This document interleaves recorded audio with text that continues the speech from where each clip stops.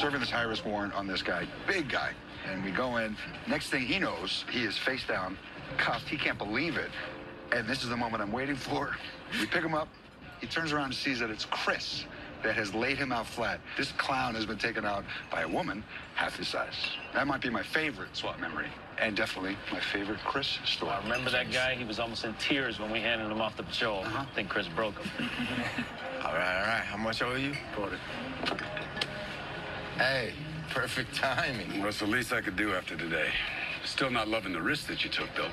Look, it didn't make sense for it to be anybody but me. I mean, I'm the only member of this team without a plus one, you know? I mean, you got Nichelle. Deke's got Annie and the kids. Probably not a shocker, but Chris and Street have each other now. I don't have anyone counting on me, so. That's not true. Not if you're gonna be my baby's godfather. Are you asking me for real? Assuming everything goes well and the show's already signed off. Luca, we'd be honored if you said yes. How about hell yeah, man? Are you kidding me? Oh my God, that's amazing. We love you, man. Thank you. Yeah. I love you too, you guys. Hey, hey, hey. Hey, Hey, Okay, whoa, whoa, whoa. I didn't get the memo that we were giving gifts. We're not. At least not for me. I uh, gave everyone a little something today, and this one's for you. For me?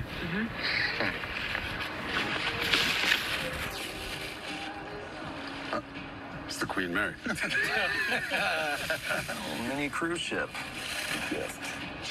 You gave me advice during that cruise ship hijacking a few years ago, and you told me relationships weren't impossible to this job. So, this ship's supposed to be a reminder of that and all the journeys we've been on since then. I mean, look how far we've all come. now wait a second. I know what you got me, mm-hmm. and you got Luca and Tan, and now Hondo. Would you get Street? Street gets me. Ah. We only had to wait five years. Hey, guys, listen up. I know you all have heard plenty of speeches from me, but none ever as heartfelt as this one. A lot of people talk about legacy. Few people live it. Chris Alonso, you're one of those. You gotta be a good officer to do this job, but an even better human being to do it well and to do it with class.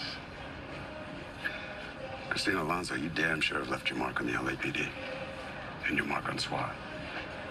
And you've left an even deeper mark with all of us here. So wherever you go, whatever you do, we will always have your back because we will always be together.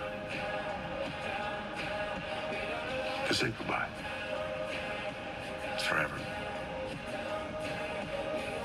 To Chris. To Chris. Chris. Love you guys. We love you too.